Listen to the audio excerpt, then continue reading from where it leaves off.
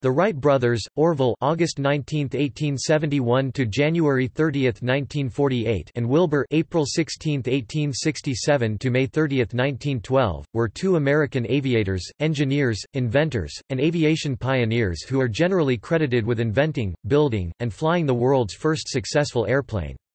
They made the first controlled, sustained flight of a powered, heavier-than-air aircraft on December 17, 1903, four miles south of Kitty Hawk, North Carolina. In 1904–05 the brothers developed their flying machine into the first practical fixed-wing aircraft.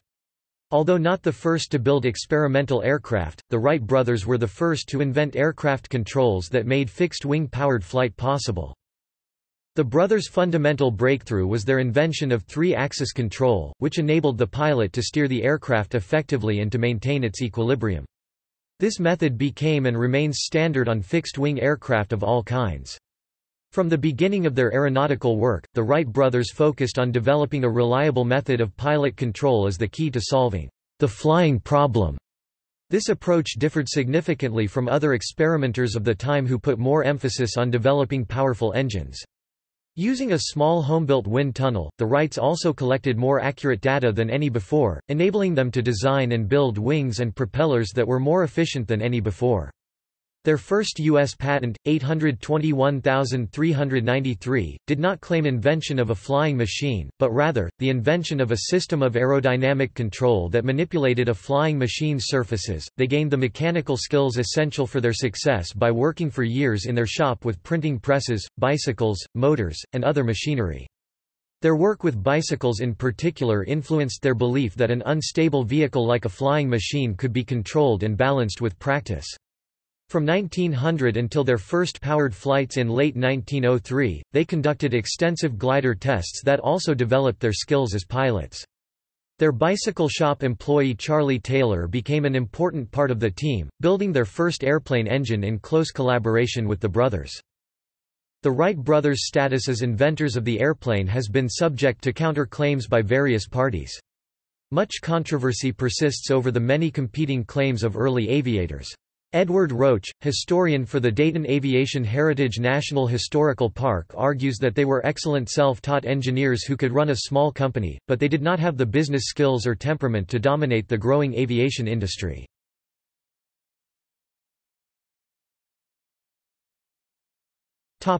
Childhood The Wright brothers were two of seven children born to Milton Wright (1828–1917) of English and Dutch ancestry, and Susan Catherine Koerner (1831–1889) of German and Swiss ancestry. Milton Wright's mother, Catherine Reeder, was descended from the progenitor of the Vanderbilt family and the Huguenot Gano family of New Rochelle, New York. Wilbur was born near Millville, Indiana, in 1867, Orville in Dayton, Ohio, in 1871. The brothers never married. The other Wright siblings were Reuchlin (1861–1920), Lorin (1862–1939), Katharine (1874–1929), and twins Otis and Ida, born 1870, died in infancy. The direct paternal ancestry goes back to a Samuel Wright b. 1606 in Essex, England who sailed to America and settled in Massachusetts in 1636. None of the Wright children had middle names. Instead, their father tried hard to give them distinctive first names. Wilbur was named for Wilbur Fisk and Orville for Orville Dewey, both clergymen that Milton Wright admired. They were Will and ORV to their friends and in Dayton, their neighbors knew them simply as the Bishop's Kids or the Bishop's Boys. Because of their father's position as a bishop in the Church of the United Brethren in Christ, he traveled often and the Wrights frequently moved, 12 times before finally returning permanently to Dayton in 1884. In elementary school, Orville was given to mischief and was once expelled. In 1878 when the family lived in Cedar Rapids, Iowa, their father brought home a toy helicopter for his two younger sons. The device was based on an invention of French aeronautical pioneer Alphonse Pénaud. Made of paper, bamboo and cork with a rubber band to twirl its rotor, it was about a foot long. Wilbur and Orville played with it until it broke, and then built their own. In later years, they pointed to their experience with the toy as the spark of their interest in flying.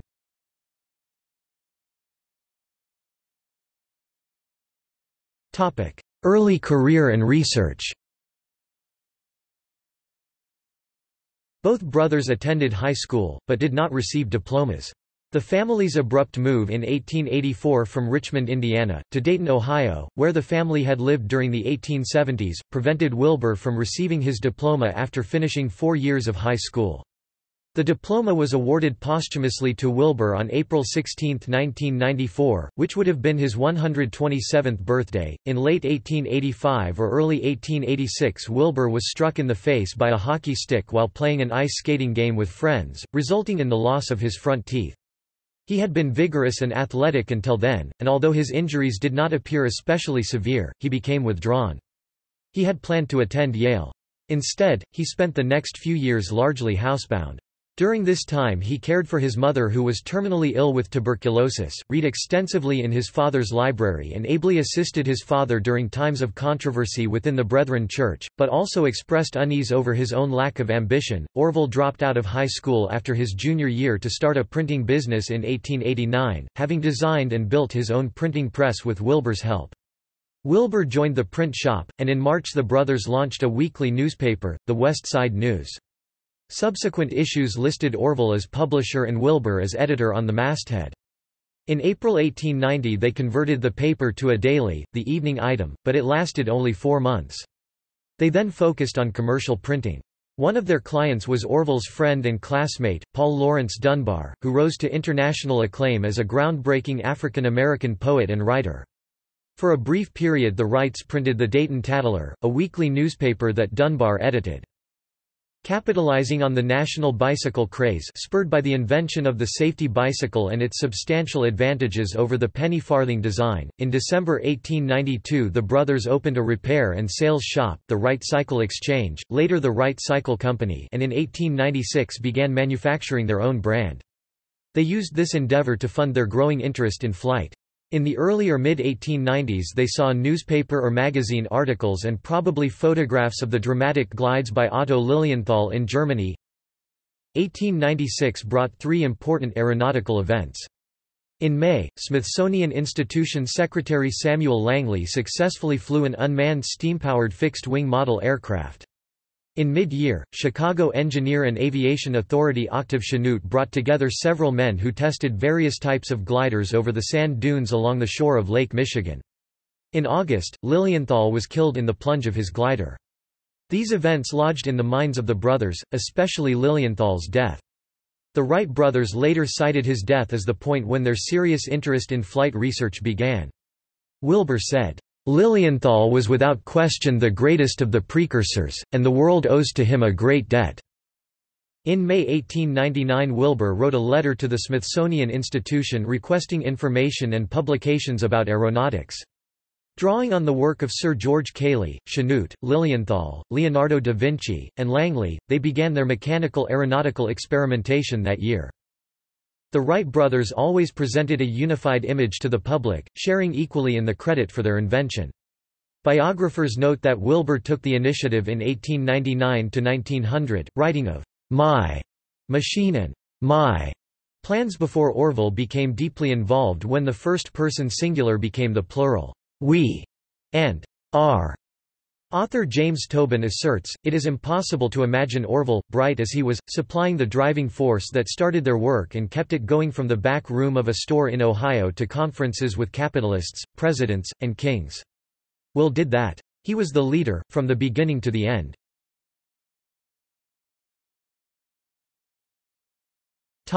Ideas about control Despite Lilienthal's fate, the brothers favored his strategy, to practice gliding in order to master the art of control before attempting motor-driven flight. The death of British aeronaut Percy Pilcher in another hang-gliding crash in October 1899 only reinforced their opinion that a reliable method of pilot control was the key to successful—and safe—flight. At the outset of their experiments they regarded control as the unsolved third part of the flying problem. They believed sufficiently promising knowledge of the other two issues—wings and engines—already existed. The Wright brothers thus differed sharply from more experienced practitioners of the day, notably Clement Ader, Maxim and Langley who built powerful engines, attached them to airframes equipped with unproven control devices, and expected to take to the air with no previous flying experience. Although agreeing with Lilienthal's idea of practice, the Wrights saw that his method of balance and control by shifting his body weight was inadequate. They were determined to find something better. On the basis of observation, Wilbur concluded that birds changed the angle of the ends of their wings to make their bodies roll right or left. The brothers decided this would also be a good way for a flying machine to turn—to bank or lean into the turn just like a bird, and just like a person riding a bicycle, an experience with which they were thoroughly familiar. Equally important, they hoped this method would enable recovery when the wind tilted the machine to one side lateral balance. They puzzled over how to achieve the same effect with man-made wings and eventually discovered wing warping when Wilbur idly twisted a long inner tube box at the bicycle shop. Other aeronautical investigators regarded flight as if it were not so different from surface locomotion, except the surface would be elevated. They thought in terms of a ship's rudder for steering, while the flying machine remained essentially level in the air, as did a train or an automobile or a ship at the surface. The idea of deliberately leaning, or rolling, to one side seemed either undesirable or did not enter their thinking.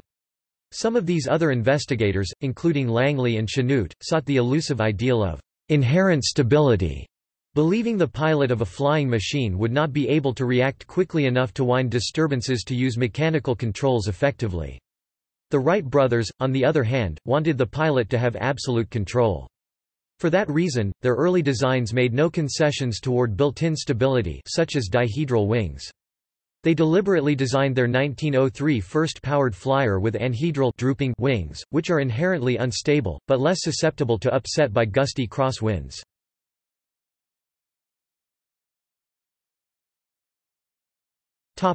Flights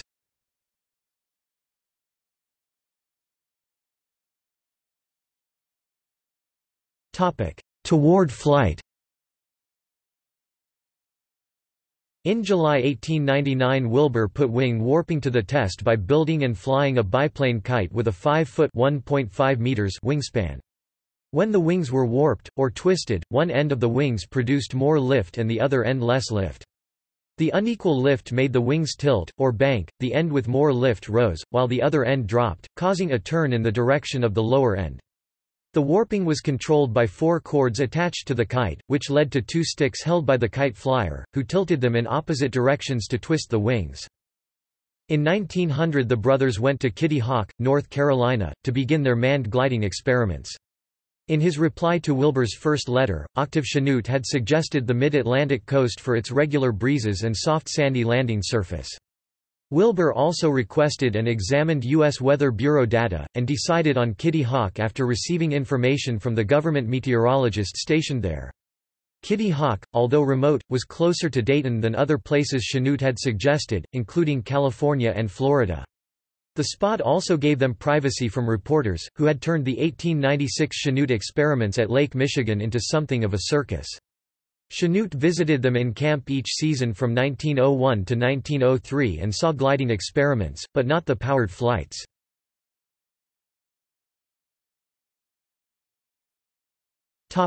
Gliders The Wrights based the design of their kite and full-size gliders on work done in the 1890s by other aviation pioneers. They adopted the basic design of the Chanute Herring biplane hang glider double-decker as the Wrights called it, which flew well in the 1896 experiments near Chicago, and used aeronautical data on lift that Otto Lilienthal had published. The Wrights designed the wings with camber, a curvature of the top surface. The brothers did not discover this principle, but took advantage of it. The better lift of a cambered surface compared to a flat one was first discussed scientifically by Sir George Cayley. Lilienthal, whose work the Wrights carefully studied, used cambered wings in his gliders, proving in flight the advantage over flat surfaces. The wooden uprights between the wings of the Wright glider were braced by wires in their own version of Chanute's modified Pratt truss, a bridge building design he used for his biplane glider initially built as a triplane. The Wrights mounted the horizontal elevator in front of the wings rather than behind, apparently believing this feature would help to avoid, or protect them from, a nosedive and crash like the one that killed Lilienthal. Wilbur incorrectly believed a tail was not necessary, and their first two gliders did not have one. According to some Wright biographers, Wilbur probably did all the gliding until 1902, perhaps to exercise his authority as older brother and to protect Orville from harm as he did not want to have to explain to their father, Bishop Wright, if Orville got injured. Asterisk, this airfoil caused severe stability problems, the Wrights modified the camber on site.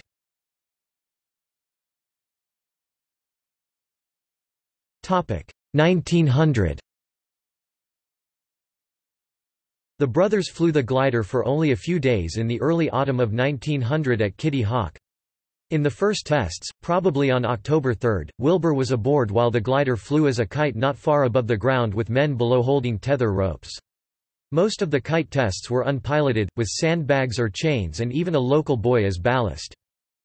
They tested wing warping using control ropes from the ground. The glider was also tested unmanned while suspended from a small homemade tower. Wilbur, but not Orville, made about a dozen free glides on only a single day, October 20. For those tests the brothers trekked 4 miles 6 kilometers south to the Kill Devil Hills, a group of sand dunes up to 100 feet 30 meters high where they made camp in each of the next three years. Although the glider's lift was less than expected, the brothers were encouraged because the craft's front elevator worked well and they had no accidents. However, the small number of free glides meant they were not able to give wing warping a true test. The pilot lay flat on the lower wing, as planned, to reduce aerodynamic drag. As a glide ended, the pilot was supposed to lower himself to a vertical position through an opening in the wing and land on his feet with his arms wrapped over the framework. Within a few glides, however, they discovered the pilot could remain prone on the wing, headfirst, without undue danger when landing. They made all their flights in that position for the next five years.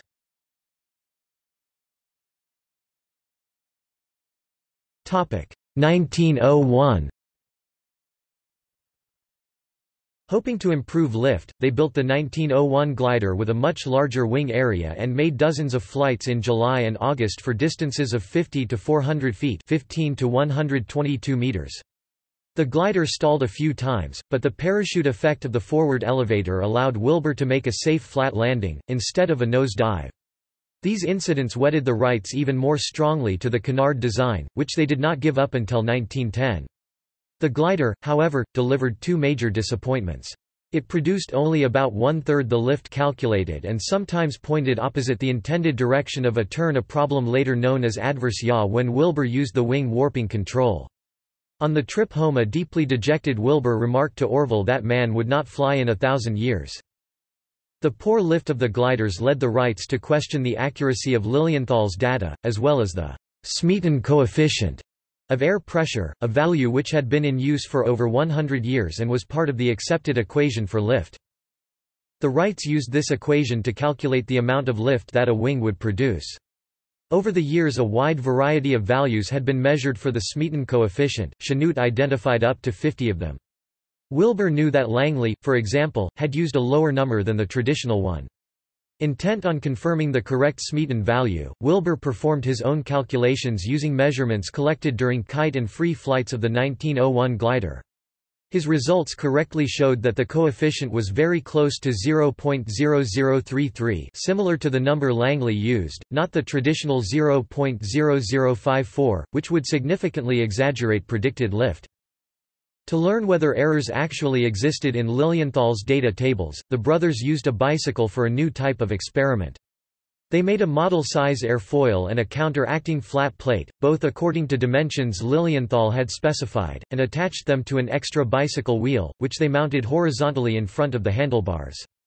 Pedaling strenuously on a local street to create airflow over the apparatus, they observed that the third wheel rotated against the airfoil instead of remaining motionless as Lilienthal's formula predicted.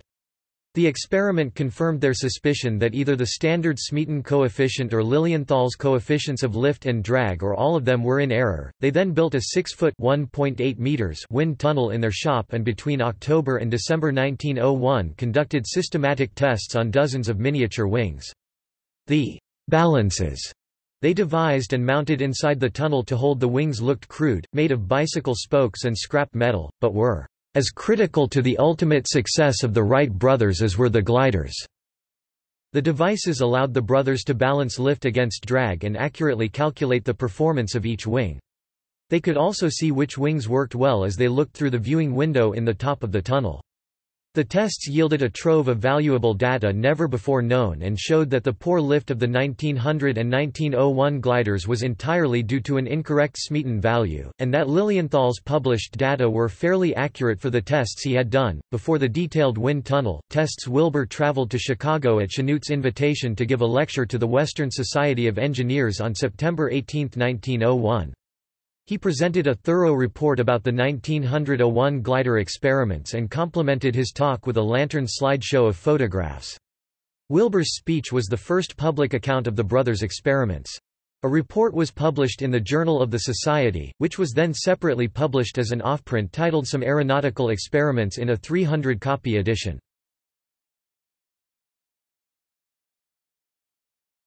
Topic 1902 Lilienthal had made whirling arm tests on only a few wing shapes, and the Wrights mistakenly assumed the data would apply to their wings, which had a different shape. The Wrights took a huge step forward and made basic wind tunnel tests on 200 wings of many shapes and airfoil curves, followed by detailed tests on 38 of them. The tests, according to biographer Fred Howard, were the most crucial and fruitful aeronautical experiments ever conducted in so short a time with so few materials and at so little expense. An important discovery was the benefit of longer narrower wings, in aeronautical terms, wings with a larger aspect ratio wingspan divided by chord—the wing's front-to-back dimension. Such shapes offered much better lift-to-drag ratio than the broader wings the brothers had tried so far. With this knowledge, and a more accurate Smeaton number, the Wrights designed their 1902 glider. Using another crucial discovery from the wind tunnel, they made the airfoil flatter, reducing the camber the depth of the wing's curvature divided by its chord. The 1901 wings had significantly greater curvature, a highly inefficient feature the Wrights copied directly from Lilienthal. Fully confident in their new wind tunnel results, the Wrights discarded Lilienthal's data, now basing their designs on their own calculations. With characteristic caution, the brothers first flew the 1902 glider as an unmanned kite, as they had done with their two previous versions. Rewarding their wind tunnel work, the glider produced the expected lift. It also had a new structural feature, a fixed, rear vertical rudder, which the brothers hoped would eliminate turning problems. By 1902 they realized that wing warping created differential drag at the wingtips. Greater lift at one end of the wing also increased drag, which slowed that end of the wing, making the glider swivel—or yaw, so the nose pointed away from the turn.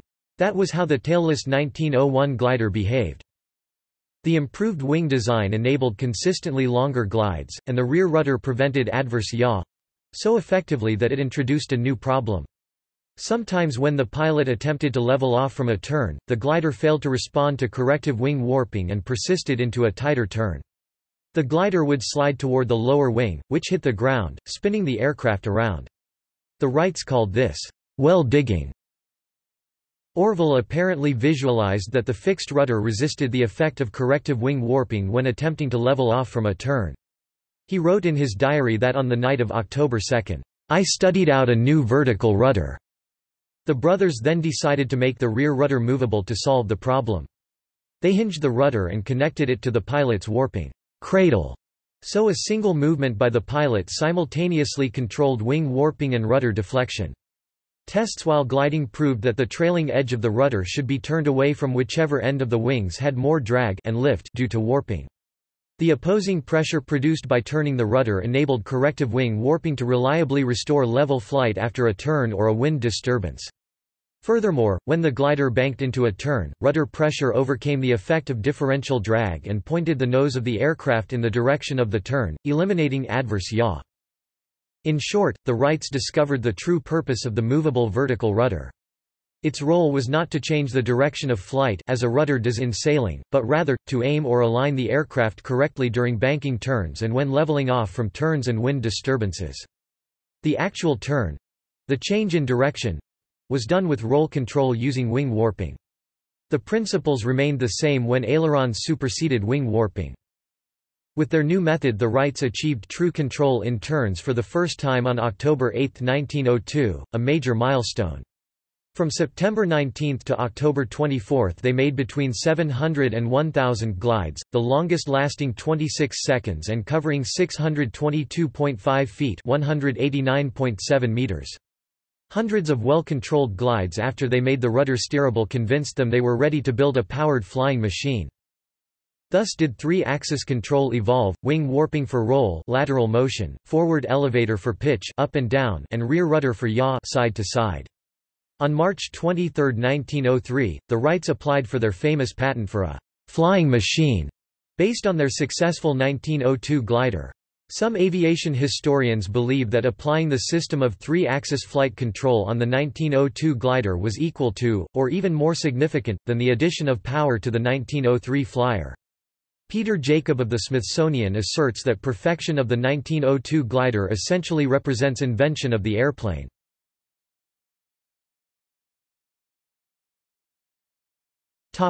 Adding power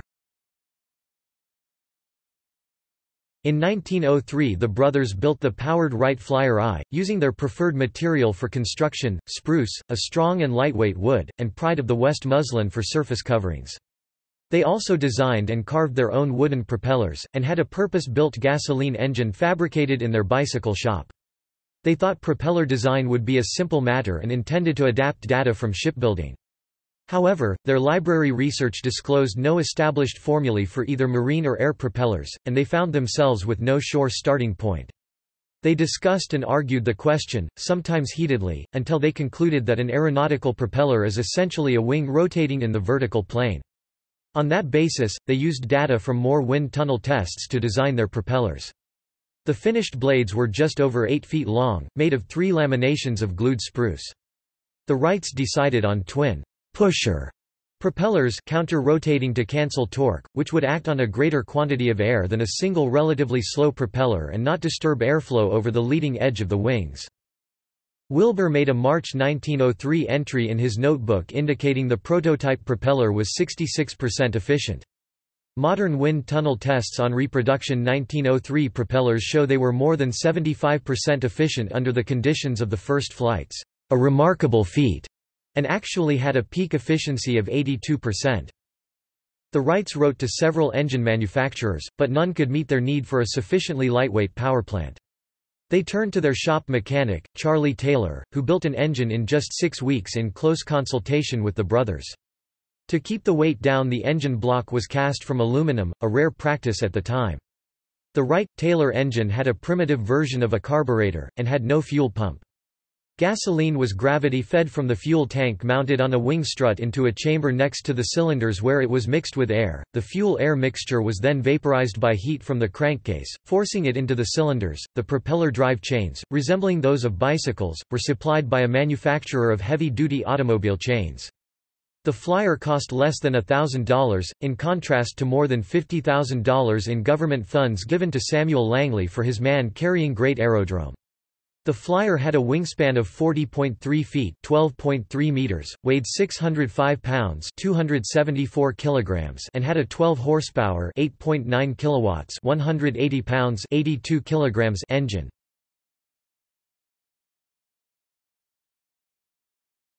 Topic: First powered flight. In camp at Kill Devil Hills, they endured weeks of delays caused by broken propeller shafts during engine tests. After the shafts were replaced requiring two trips back to Dayton, Wilbur won a coin toss and made a three-second flight attempt on December 14, 1903, stalling after takeoff and causing minor damage to the flyer. Because December 13, 1903, was a Sunday, the brothers did not make any attempts that day, even though the weather was good, so their first powered test flight happened on the 121st anniversary of the first test flight that the Montgolfier brothers had done, on December 14, 1782. In a message to their family, Wilbur referred to the trial as having only partial success, stating, the power is ample, and but for a trifling error due to lack of experience with this machine and this method of starting, the machine would undoubtedly have flown beautifully. Following repairs, the Wrights finally took to the air on December 17, 1903, making two flights each from level ground into a freezing headwind gusting to 27 miles per hour, 43 kilometers per hour.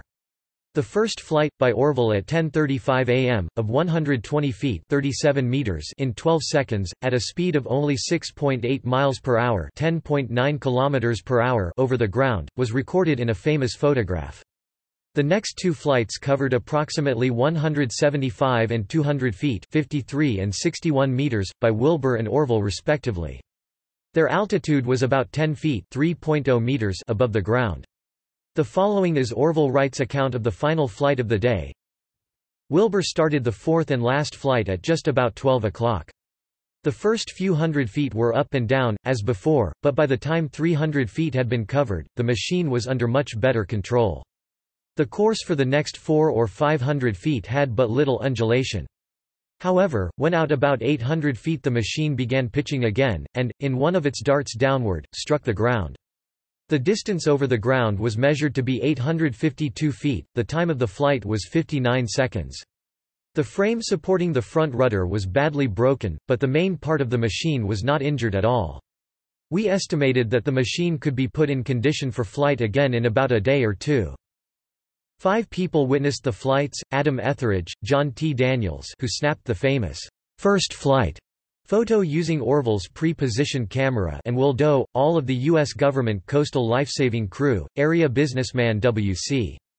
Brinkley, and Johnny Moore, a teenaged boy who lived in the area. After the men hauled the flyer back from its fourth flight, a powerful gust of wind flipped it over several times, despite the crew's attempt to hold it down.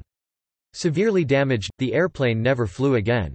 The brothers shipped it home, and years later Orville restored it, lending it to several U.S. locations for display, then to a British museum see Smithsonian dispute below, before it was finally installed in 1948 in the Smithsonian Institution in Washington, D.C., its current residence.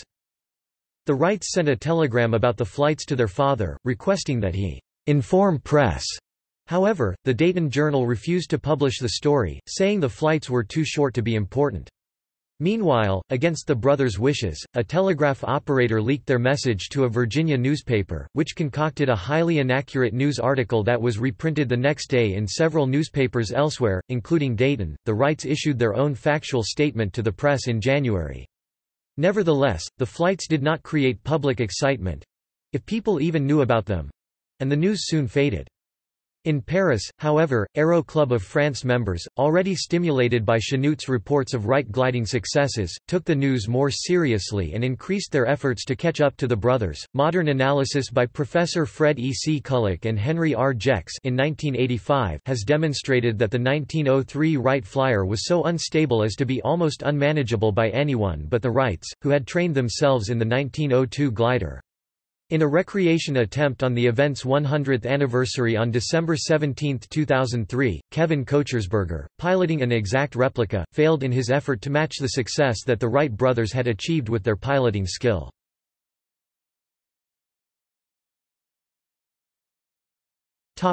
Establishing legitimacy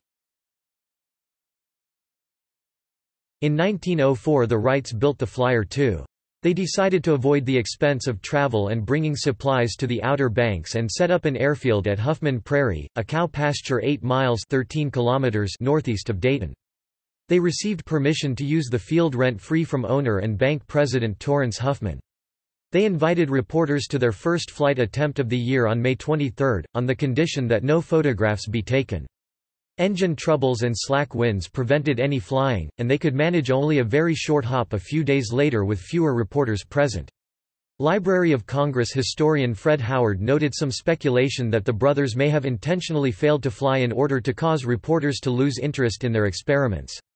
Whether that is true is not known, but after their poor showing local newspapers virtually ignored them for the next year and a half. The Wrights were glad to be free from the distraction of reporters. The absence of newsmen also reduced the chance of competitors learning their methods.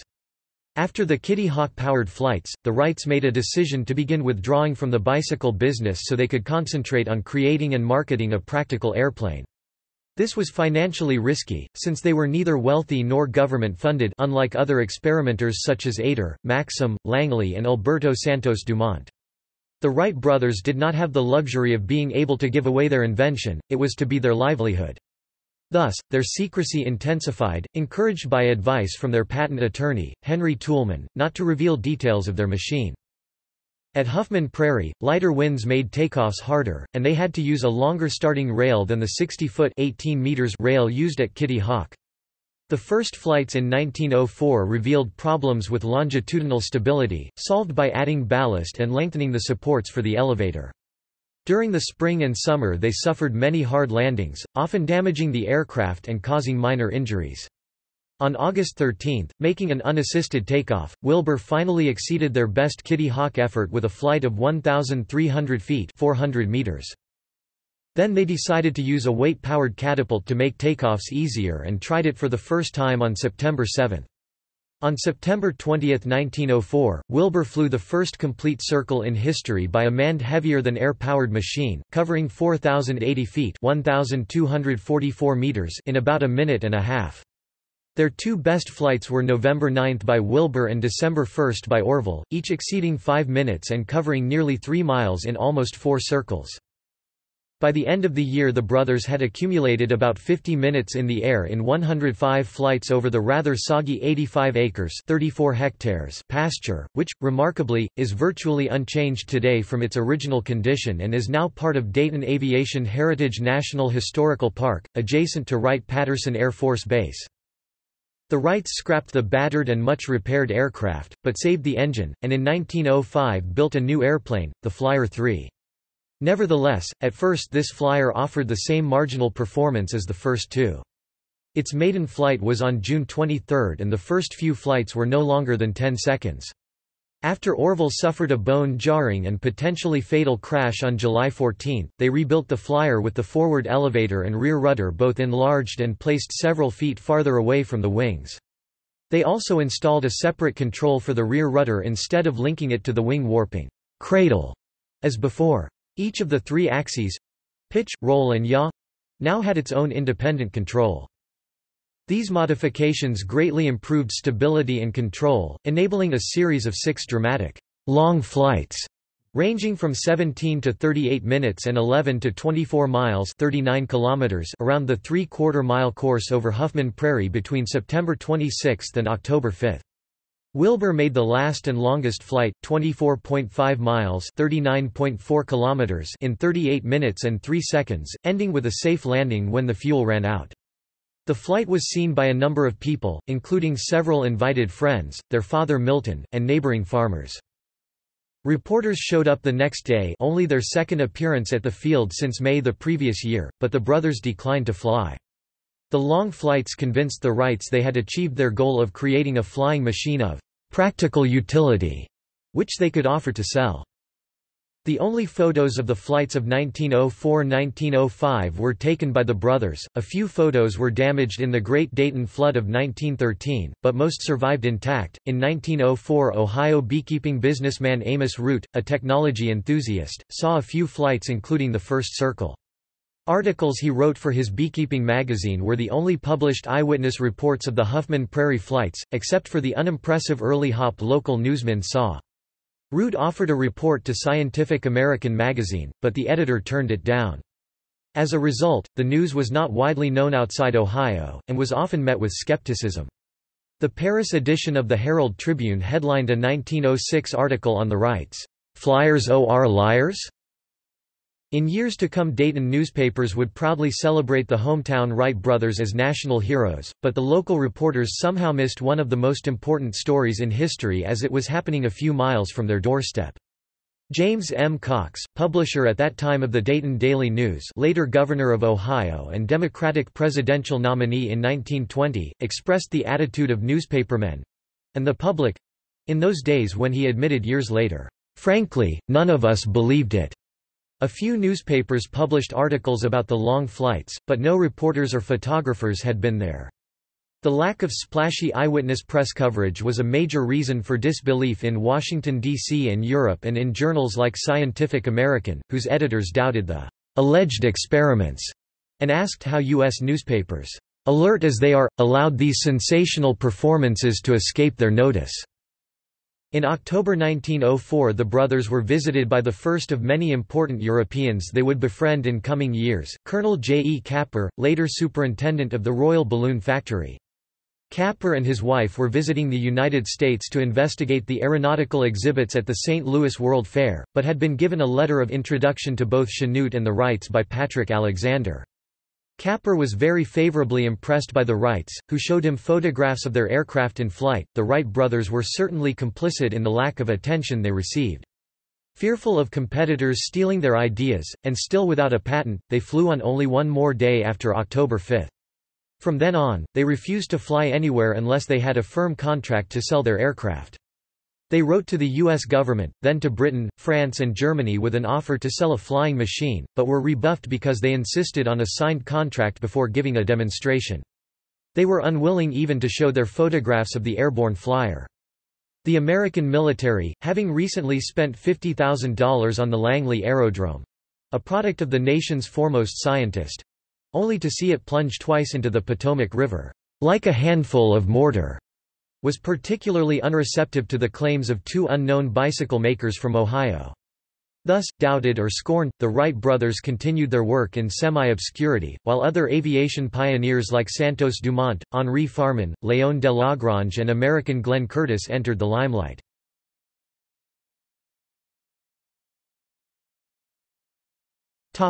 European skepticism In 1906 skeptics in the European aviation community had converted the press to an anti-Wright brothers stance. European newspapers, especially those in France, were openly derisive, calling them bluffers bluffers. Ernest Archdeacon, founder of the Aero Club de France, was publicly scornful of the brothers' claims in spite of published reports. Specifically, he wrote several articles and, in 1906, stated that, "...the French would make the first public demonstration of powered flight." The Paris edition of the New York Herald summed up Europe's opinion of the Wright brothers in an editorial on February 10, 1906. The Wrights have flown or they have not flown. They possess a machine or they do not possess one. They are in fact either flyers or liars. It is difficult to fly.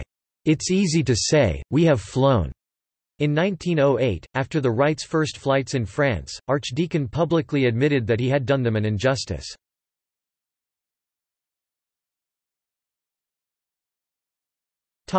Contracts and return to Kitty Hawk The Wright brothers made no flights at all in 1906 and 1907. They spent the time attempting to persuade the US and European governments that they had invented a successful flying machine and were prepared to negotiate a contract to sell such machines. They also experimented with a pontoon and engine setup on the Miami River Ohio in hopes of flying from the water. These experiments proved unsuccessful. Replying to the Wrights' letters, the U.S. military expressed virtually no interest in their claims. The brothers turned their attention to Europe, especially France, where enthusiasm for aviation ran high, and journeyed there for the first time in 1907 for face-to-face -face talks with government officials and businessmen. They also met with aviation representatives in Germany and Britain. Before traveling, Orville shipped a newly built Model A flyer to France in anticipation of demonstration flights. In France Wilbur met Frank P. Lahm, a lieutenant in the U.S. Army Aeronautical Division. Writing to his superiors, Lahm smoothed the way for Wilbur to give an in-person presentation to the U.S. Board of Ordnance and Fortification in Washington, D.C. When he returned to the U.S. this time, the board was favorably impressed, in contrast to its previous indifference. With further input from the Wrights, the U.S. Army Signal Corps issued Specification No. 486 in December 1907, inviting bids for construction of a flying machine under military contract. The Wrights submitted their bid in January. In early 1908 the brothers also agreed to a contract with a French company. In May they went back to Kitty Hawk with their 1905 flyer to practice in private for their all-important public demonstration flights, as required by both contracts. Their privacy was lost when New York newspapers heard about the tests and sent several reporters to the scene. Their contracts required them to fly with a passenger, so they modified the 1905 flyer by installing two seats and adding upright control levers.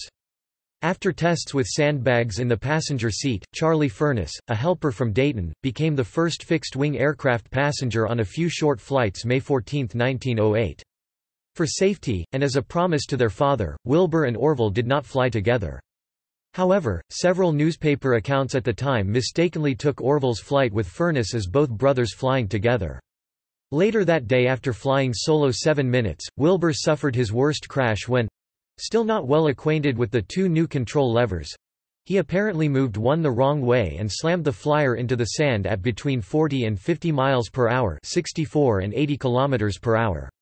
He emerged with only bruises and a cut nose, but the accident ended the practice flights and the airplane's flying career.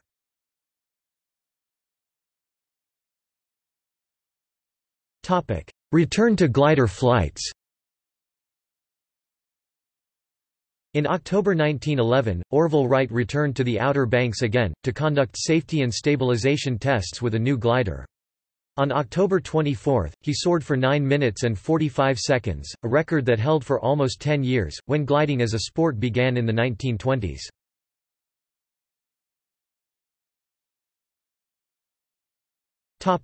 Public showing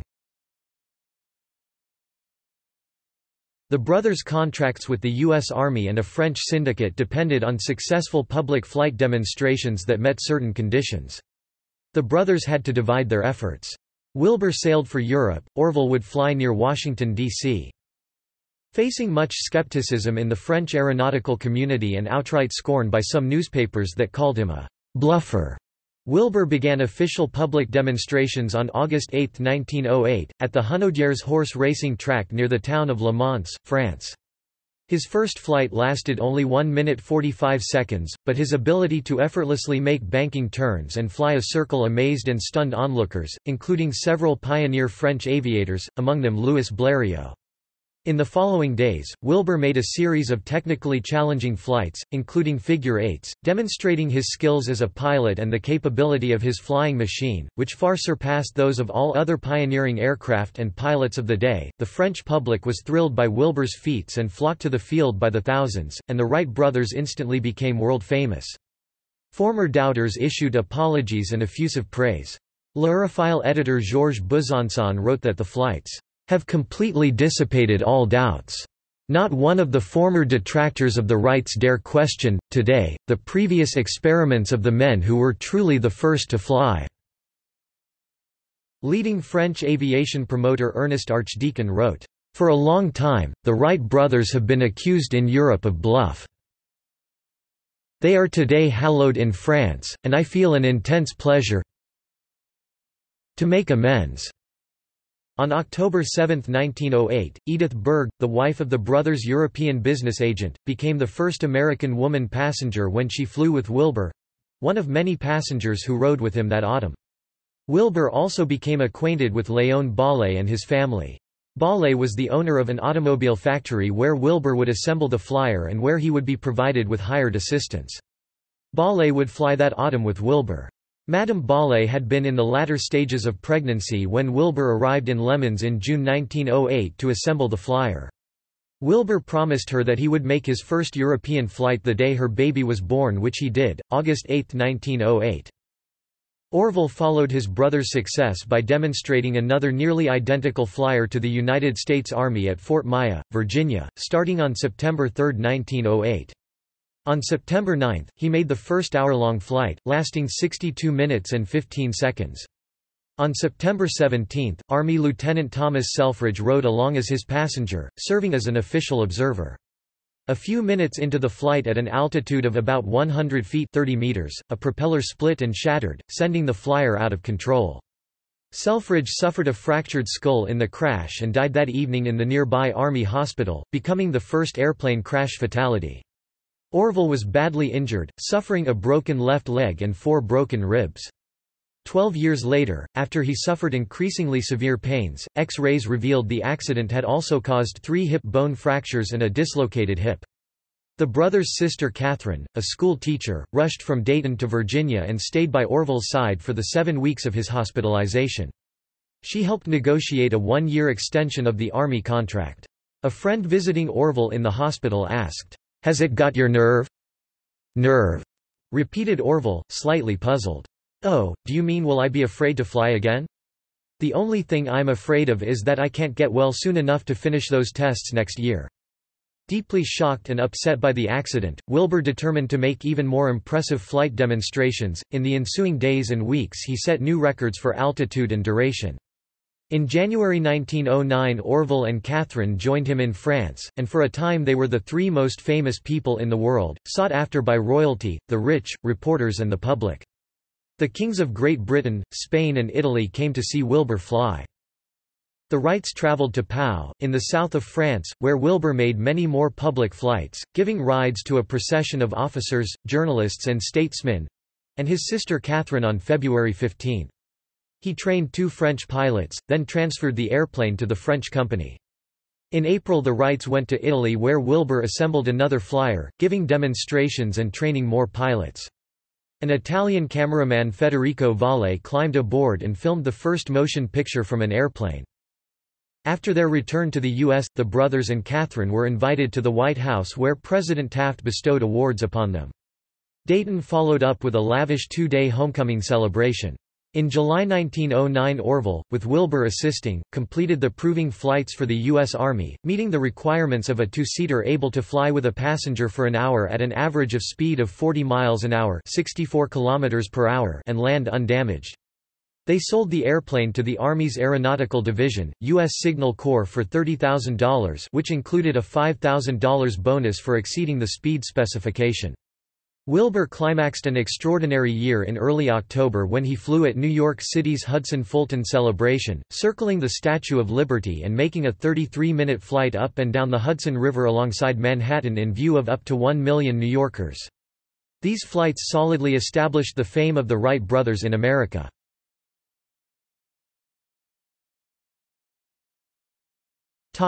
Family flights On May 25, 1910, back at Huffman Prairie, Orville piloted two unique flights. First, he took off on a six-minute flight with Wilbur as his passenger, the only time the Wright brothers ever flew together. They received permission from their father to make the flight. They had always promised Milton they would never fly together to avoid the chance of a double tragedy and to ensure one brother would remain to continue their experiments. Next, Orville took his 82-year-old father on a nearly seven-minute flight, the only one of Milton Wright's life. The aircraft rose to about 350 feet 107 meters while the elderly Wright called to his son, "'Higher, Orville, higher!'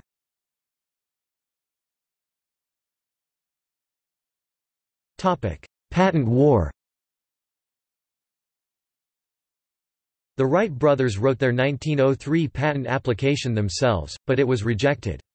In January 1904 they hired Ohio patent attorney Henry Toulmin, and on May 22, 1906, they were granted U.S. Patent 821393 for "...new and useful improvements in flying machines." The patent illustrates a non-powered flying machine—namely, the 1902 glider. The patent's importance lies in its claim of a new and useful method of controlling a flying machine, powered or not.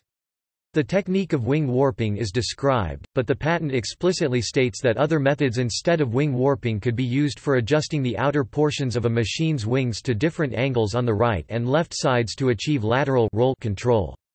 The concept of varying the angle presented to the air near the wingtips, by any suitable method, is central to the patent. The patent also describes the steerable rear vertical rudder and its innovative use in combination with wing warping, enabling the airplane to make a coordinated turn, a technique that prevents hazardous adverse yaw, the problem Wilbur had when trying to turn the 1901 glider. Finally, the patent describes the forward elevator, used for ascending and descending.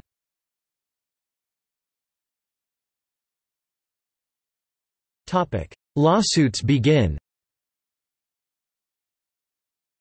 Attempting to circumvent the patent, Glenn Curtiss and other early aviators devised ailerons to emulate lateral control described in the patent and demonstrated by the Wrights in their public flights. Soon after the historic July 4, 1908, one-kilometer flight by Curtiss in the AEA June Bug, the Wrights warned him not to infringe their patent by profiting from flying or selling aircraft that used ailerons.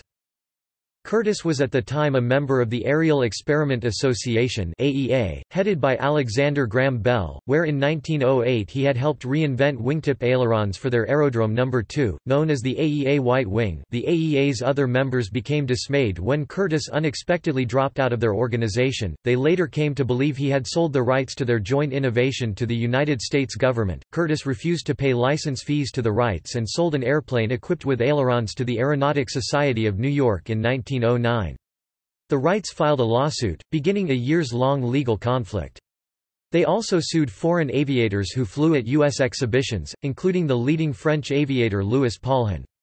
The Curtiss people derisively suggested that if someone jumped in the air and waved his arms, the Wrights would sue. European companies which bought foreign patents the Wrights had received sued other manufacturers in their countries. Those lawsuits were only partly successful. Despite a pro-Wright ruling in France, legal maneuvering dragged on until the patent expired in 1917. A German court ruled the patent not valid because of prior disclosure in speeches by Wilbur Wright in 1901 and Chanute in 1903. In the U.S. the Wrights made an agreement with the Aero Club of America to license airshows which the club approved, freeing participating pilots from a legal threat.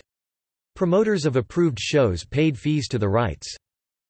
The Wright brothers won their initial case against Curtiss in February 1913 when a judge ruled that ailerons were covered under the patent. The Curtiss Company appealed the decision. From 1910 until his death from typhoid fever in 1912, Wilbur took the leading role in the patent struggle, traveling incessantly to consult with lawyers and testify in what he felt was a moral cause, particularly against Curtiss, who was creating a large company to manufacture aircraft. The Wrights' preoccupation with the legal issue stifled their work on new designs, and by 1911 Wright airplanes were considered inferior to those of European makers.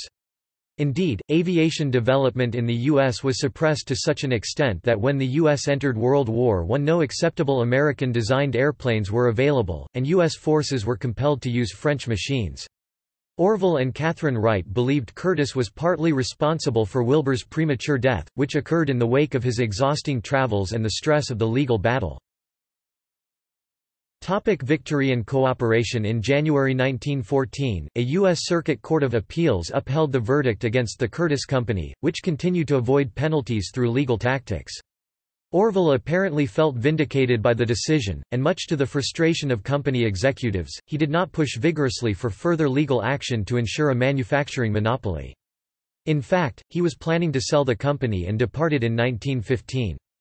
In 1917, with World War I underway, the U.S. government pressured the industry to form a cross-licensing organization, the Manufacturers Aircraft Association, to which member companies paid a blanket fee for the use of aviation patents, including the original and subsequent Wright patents.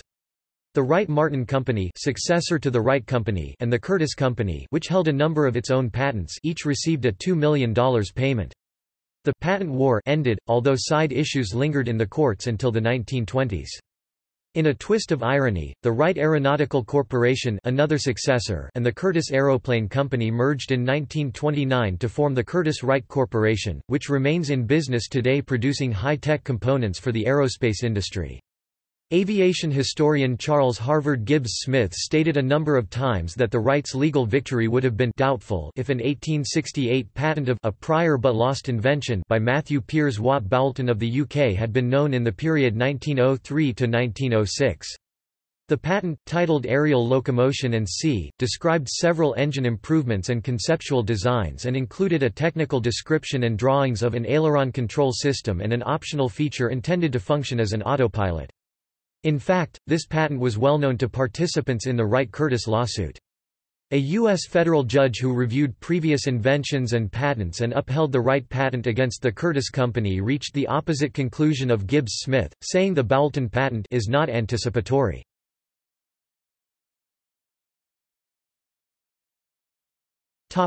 Public reactions The lawsuits damaged the public image of the Wright brothers, who were generally regarded before this as heroes. Critics said the brothers were greedy and unfair and compared their actions unfavorably to European inventors, who worked more openly. Supporters said the brothers were protecting their interests and were justified in expecting fair compensation for the years of work leading to their successful invention. Their ten-year friendship with Octave Chanute, already strained by tension over how much credit, if any, he might deserve for their success, collapsed after he publicly criticized their actions.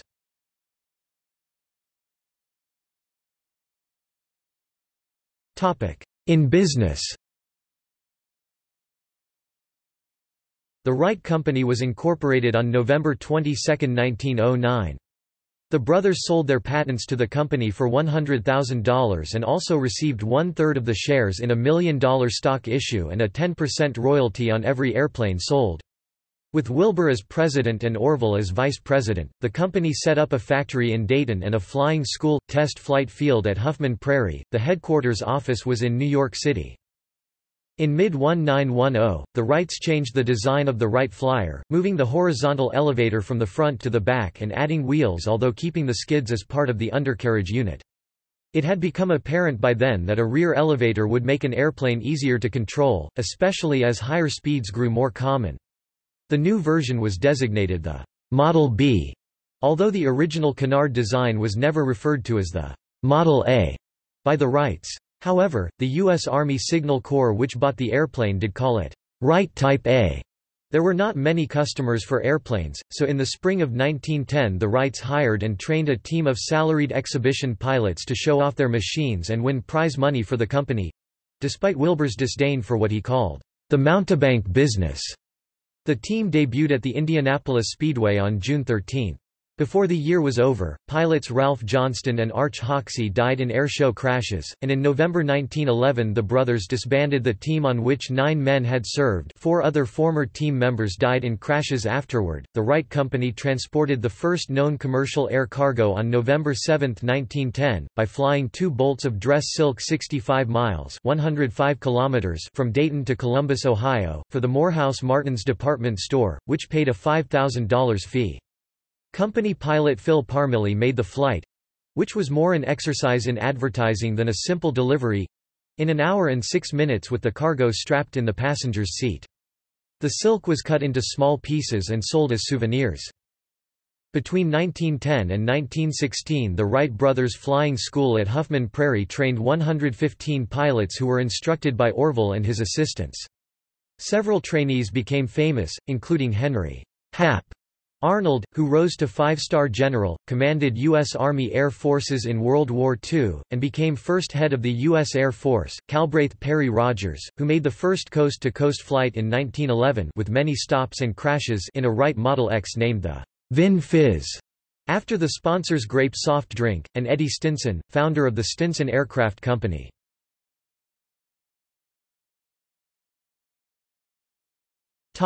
Army accidents In 1912–1913 a series of fatal crashes of Wright airplanes bought by the U.S. Army called into question their safety and design. The death toll reached 11 by 1913, half of them in the Wright Model C. All six Model C Army airplanes crashed. They had a tendency to nose dive, but Orville insisted that stalls were caused by pilot error. He cooperated with the Army to equip the airplanes with a rudimentary flight indicator to help the pilot avoid climbing too steeply. A government investigation said the Wright C was dynamically unsuited for flying, and the American military ended its use of airplanes with pusher type propellers, including models made by both the Wright and Curtiss companies, in which the engine was located behind the pilot and likely to crush him in a crash. Orville resisted the switch to manufacturing tractor type propeller aircraft, worried that a design change could threaten the Wright patent infringement case against Curtiss.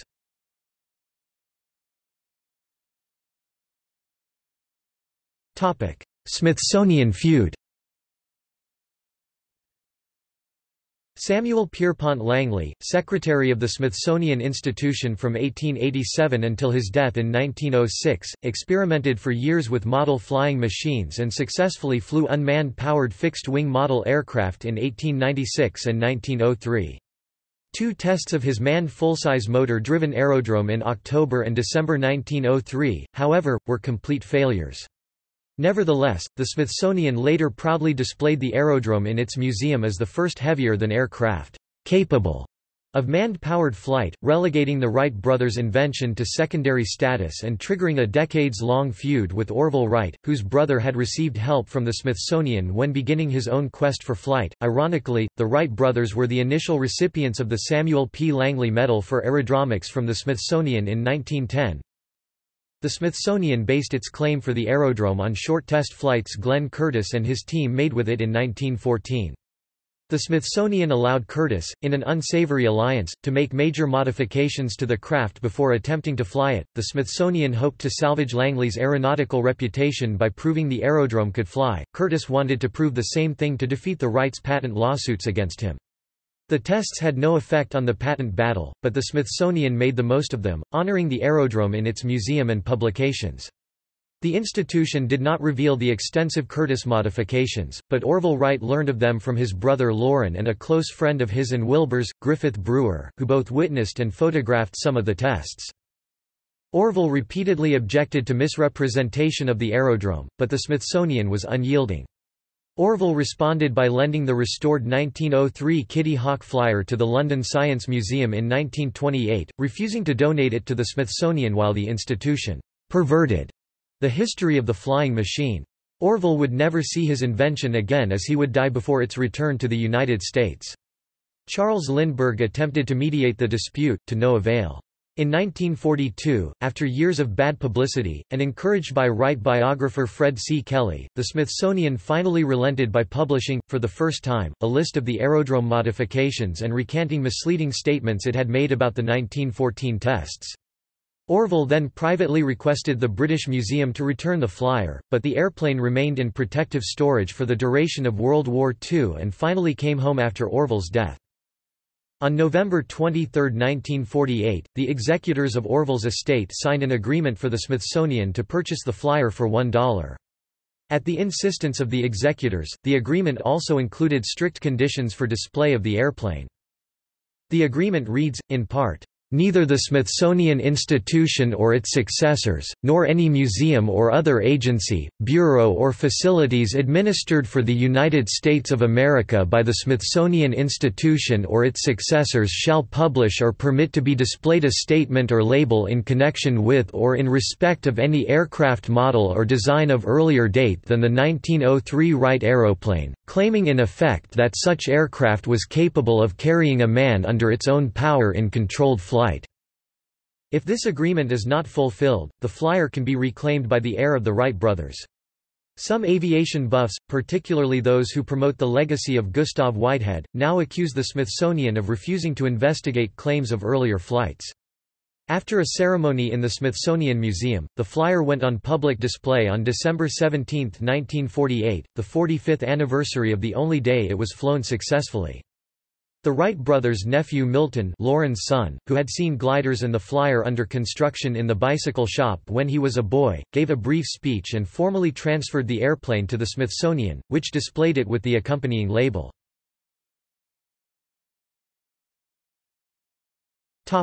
Last years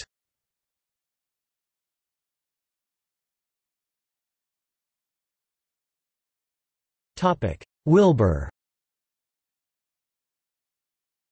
Neither brother married. Wilbur once quipped that he did not have time for both a wife and an airplane.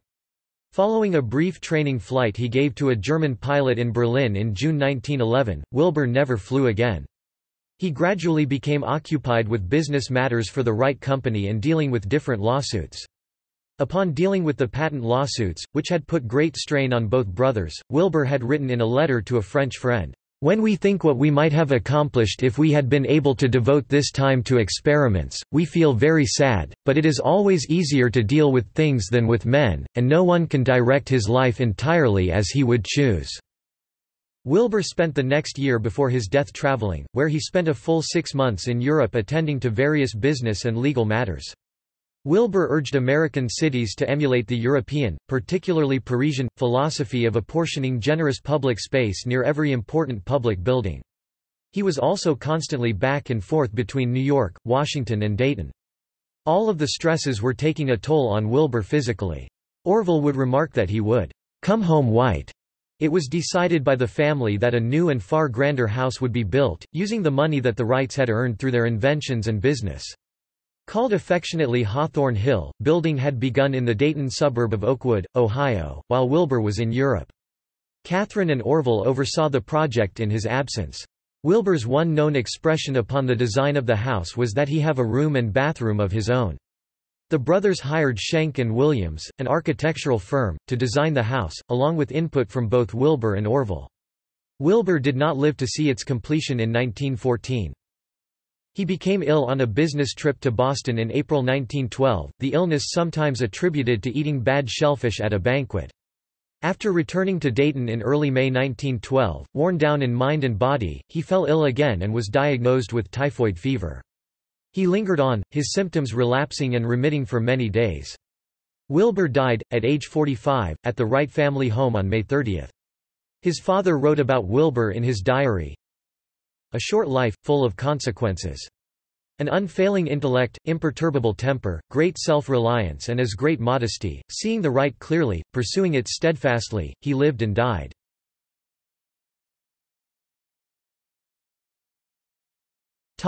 Orville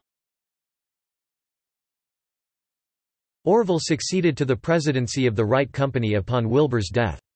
Sharing Wilbur's distaste for business but not his brother's executive skills, Orville sold the company in 1915. After 42 years living at their residence on 7 Hawthorne Street, Orville Katharine and their father, Milton, moved to Hawthorne Hill in the spring of 1914. Milton died in his sleep on April 3, 1917, at the age of 88.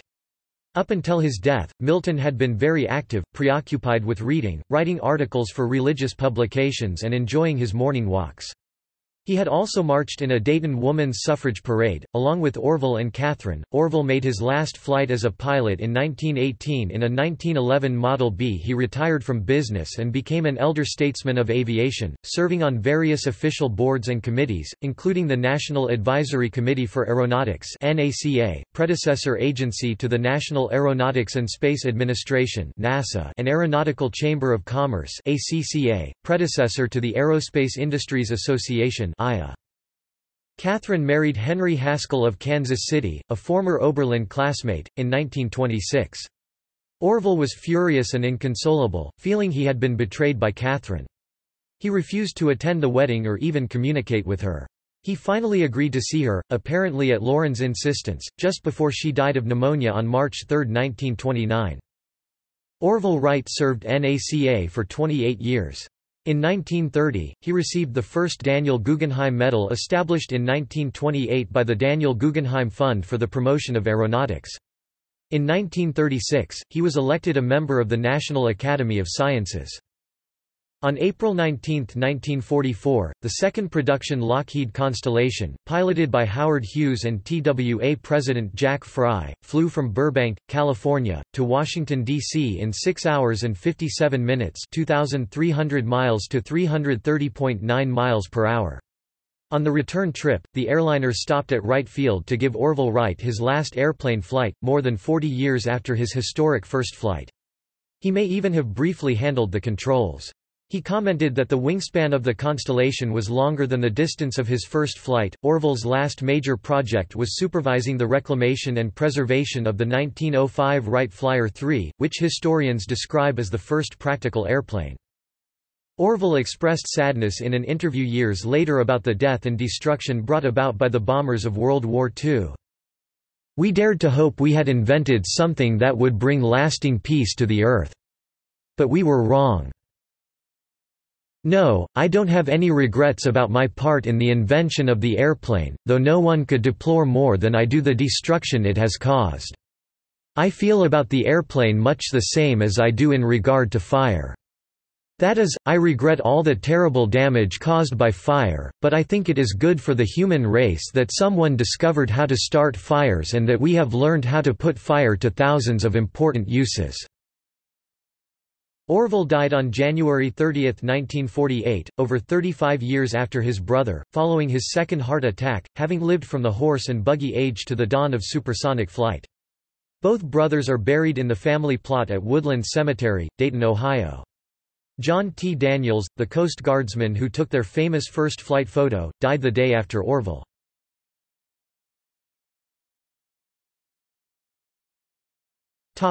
Competing claims First flight claims are made for Clement Ader, Gustav Whitehead, Richard Pearse, and Karl Jatho for their variously documented tests in years prior to and including 1903. Claims that the first true flight occurred after 1903 are made for Traian Vuia and Alberto Santos Dumont. Supporters of the post-Wright pioneers argue that techniques used by the Wright brothers disqualify them as first to make successful airplane flights. Those techniques were, a launch rail, skids instead of wheels, a headwind at takeoff, and a catapult after 1903. Supporters of the Wright brothers argue that proven, repeated, controlled, and sustained flights by the brothers entitle them to credit as inventors of the airplane, regardless of those techniques. The late aviation historian Charles Harvard Gibbs Smith was a supporter of the Wrights' claim to primacy in flight. He wrote that a barn door can be made to fly for a short distance if enough energy is applied to it, he determined that the very limited flight experiments of Ader, Vuia and others were «powered hops» instead of fully controlled flights.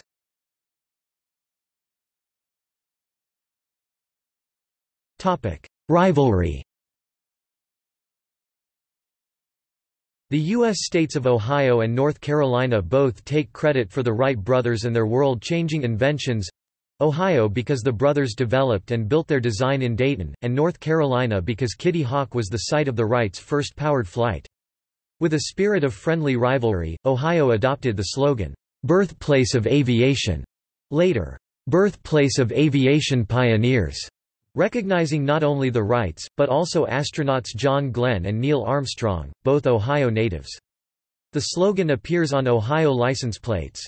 North Carolina uses the slogan, First in flight on its license plates. The site of the first flights in North Carolina is preserved as Wright Brothers National Memorial, while their Ohio facilities are part of Dayton Aviation Heritage National Historical Park. As the positions of both states can be factually defended, and each played a significant role in the history of flight, neither state has an exclusive claim to the Wrights' accomplishment.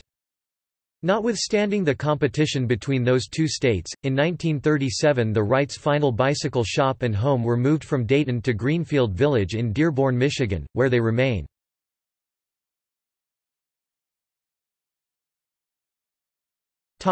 See also Augustus Moore Herring first uncontrolled heavier than air flight at St. Joseph, Michigan Curtiss Wright Glenn Curtiss. History by contract. John Joseph Montgomery. Katharine Wright. Klapmeier Brothers. Milton Wright Bishop. Robert Cummings. The Winds of Kitty Hawk 1978 Wright Aeronautical. Wright Brothers Flights of 1909 Wright Brothers Medal Wright Company. Wright Cycle Company. Wright Exhibition Team Wright Flyer Wright Flying School Wright Glider. List of covers of Time magazine 1920s December 3, 1928